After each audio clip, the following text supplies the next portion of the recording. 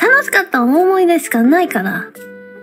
うん、何の後悔もないですね。あ、一個あるわホロライブ Español ホロライブ Español ホロライブ、あの、 Spanish を作りたかったな。